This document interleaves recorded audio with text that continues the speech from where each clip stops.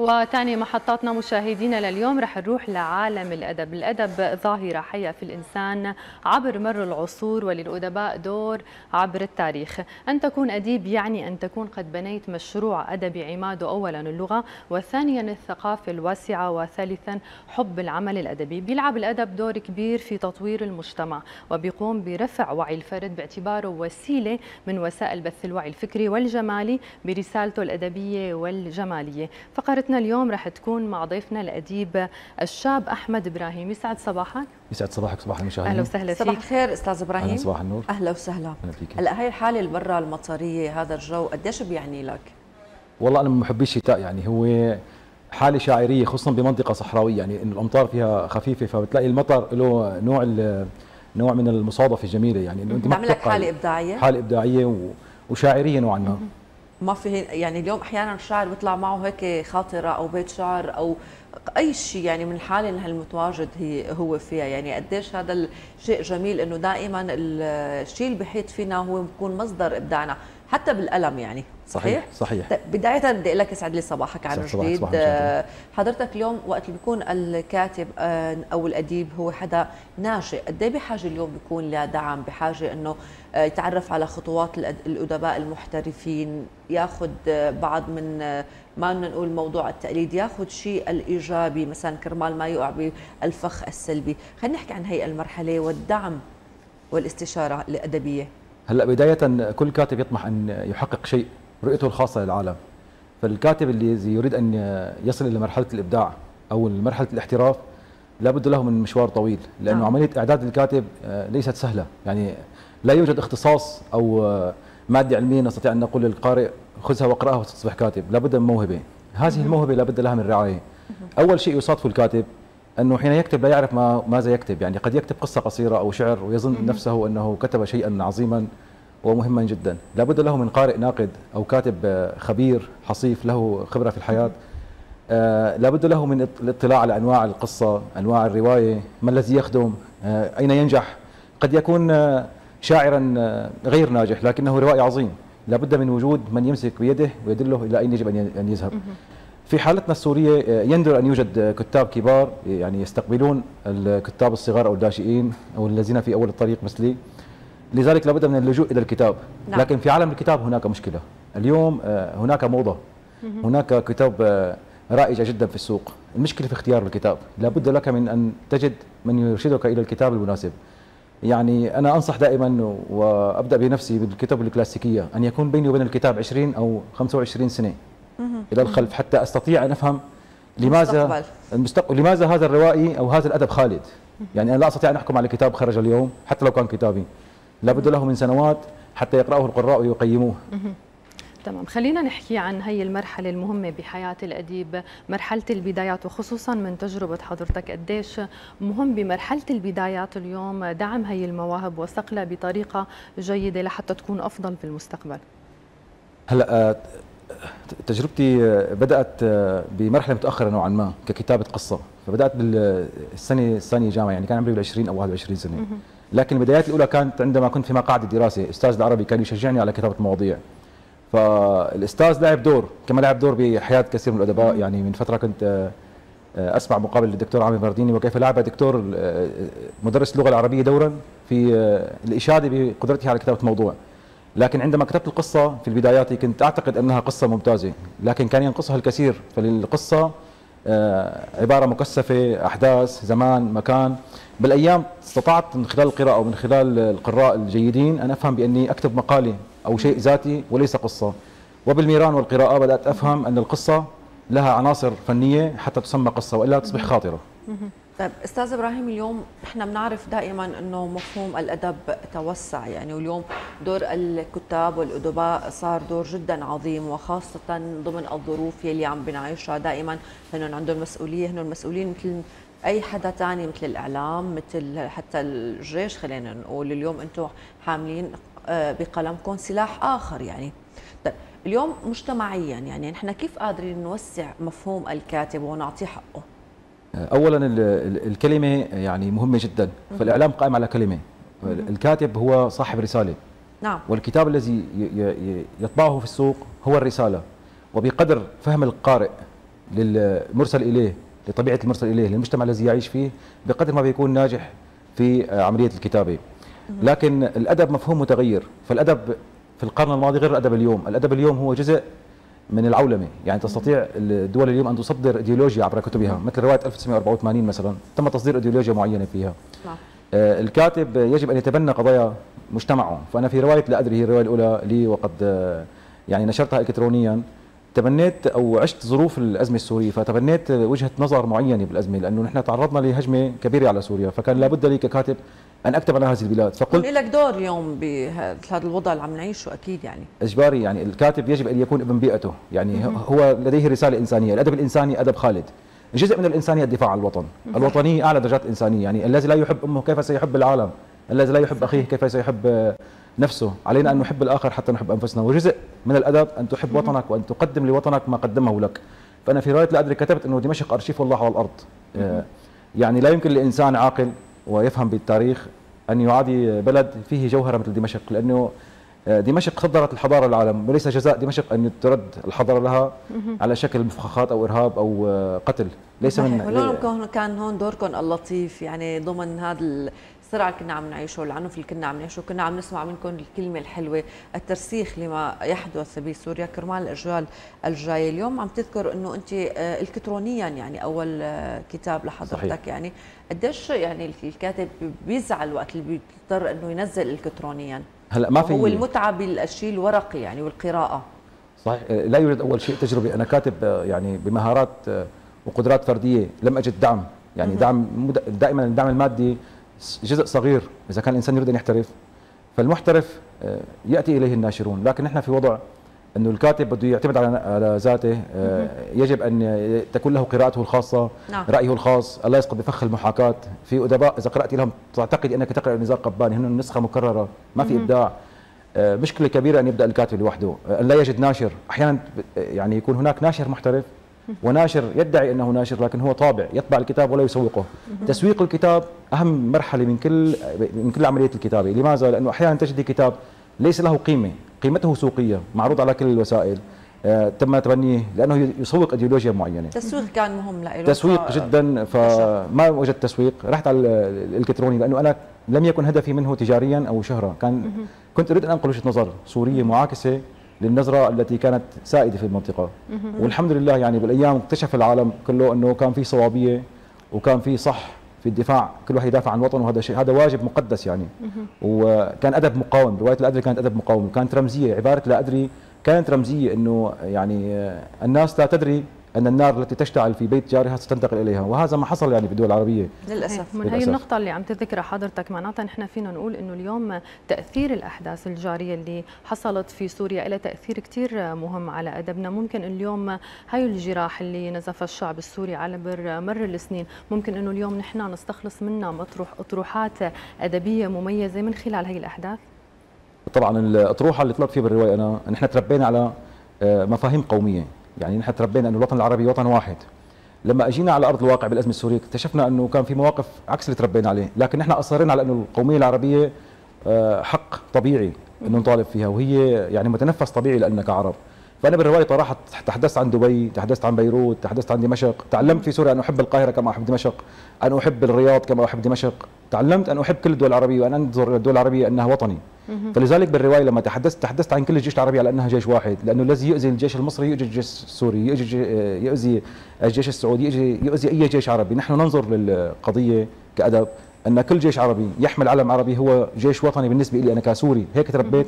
وهكذا انشئنا في مدارس في مدارسنا السورية وسنبقى هكذا بإذن طيب، الله. أستاذ إبراهيم خلينا نروح للتجربة الإبداعية والكتب يلي حضرتك آه، أصدرتها. يعني اليوم عندنا عنوانين آه، كمان جميلين. يعني اليوم الكاتب وقت اللي بيضع العنوان هو بيختصر ما يوجد داخل الصفحات. خلينا نحكي عن هذا الإصدارين. ظل الجبان فراشه فراشه هذا أول أول كتاب للأستاذ إبراهيم أيضا عندنا ذهان المحتضر.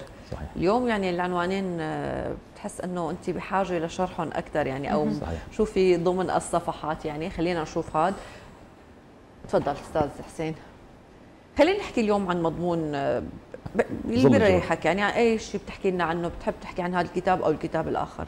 الاثنين آه الأول ظل جبال فراش وطبع في مصر. آه ويتألف من تسع قصص آه متنوعة. بضمن هذا الكتاب عالجت مثلا آه، الأشياء التي آه، كانت في أثناء أزمة كورونا. عندنا مجموعة من الناس اللي هن عندهم إعاقات جسدية. قديش أثرت هي أو كم كان تأثير الوباء على حياة هؤلاء الناس؟ يعني هؤلاء الناس لا يستطيعون الاعتماد على نفسهم في كل شيء. في بعض منهم كان عندهم آه، خادمات أو ممرضات آه، نتيجة نعم. الحجر. آه، تغيرت حياتهم كليا. فبقصه الأعمى عالجت هذه المشكلة. عندنا مشكلة أخرى مثلا متلازمه السيدتين إنه عندما ينشأ الشاب في بيئة بين امرأتين يعني مثلا جدته وموروث جدته وأمه التي تمثل الحداثة.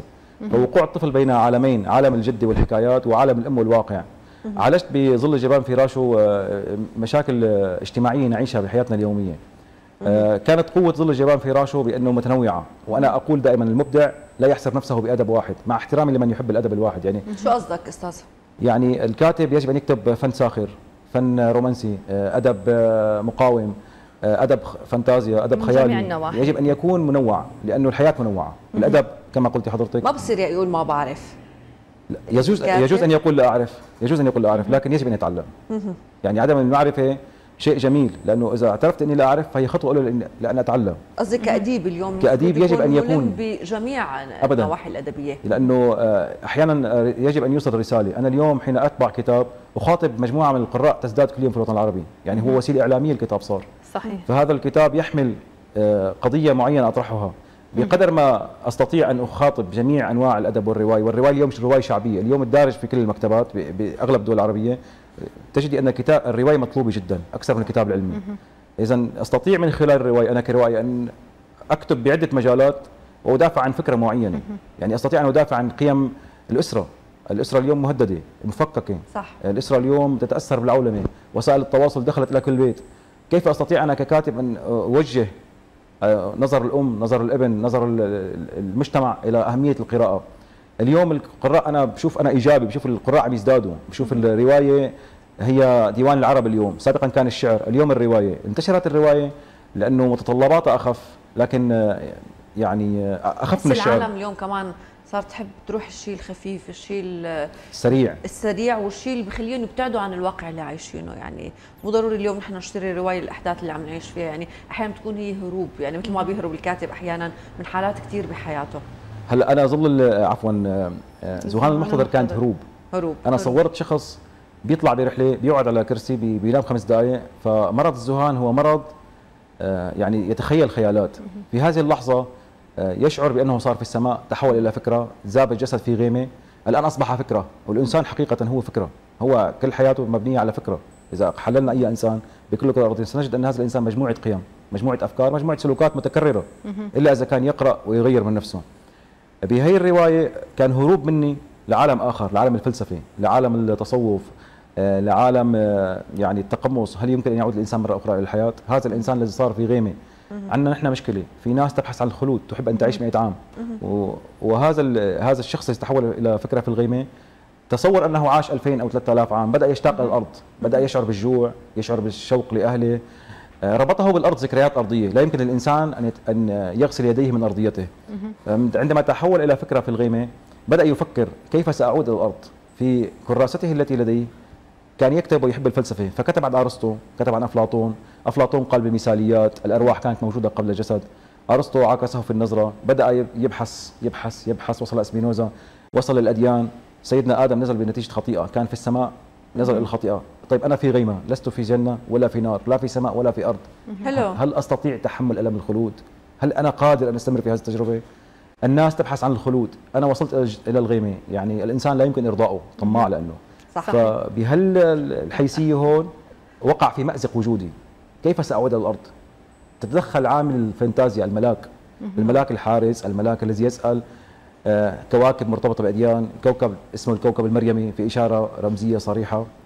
آه، الكوكب المحمدي الكوكب الموسوي. آه، تتنقل في هذه الكواكب. لا يمكن ان نلغي أي شريعة من الشرائع. لا يمكن إلغاء أي حضارة. نحن من دعاة حوار الحضارات. نحن ضد صدام الحضارات التي تروج له الدول بعض الدول يعني ضمن مشروع استكباري عالمي.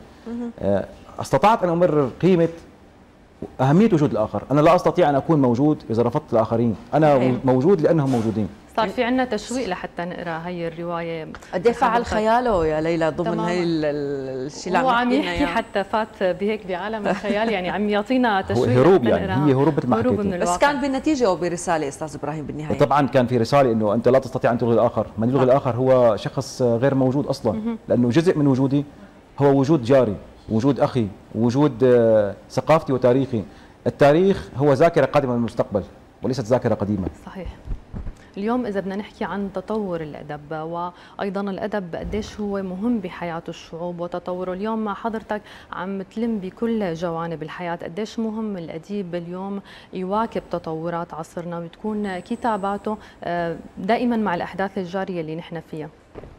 آه، يستغرب بعض الأشخاص بأني أقرأ كتب فيزياء كتب تاريخ كتب فلسفة آه، مؤخرا صرت أقرأ في الرياضيات. السؤال الذي يطرح علي لماذا تقرأ هذه الكتب؟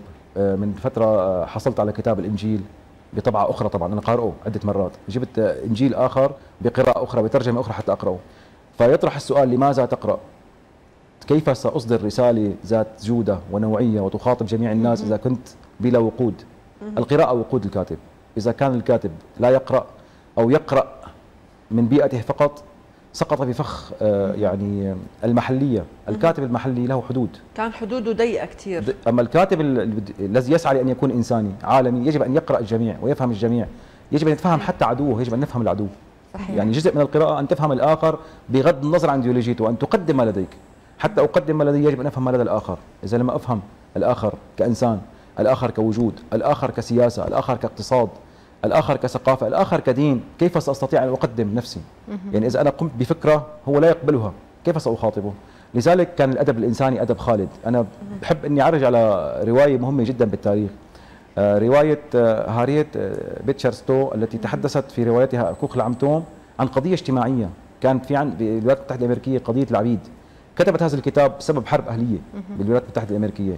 في عام 1862 قرأ الرئيس الأمريكي إبراهيم لينكولن الكتاب بعد ثلاث شهور أصدر قرار بإلغاء قانون العبودية بفضل كتاب أو رواية.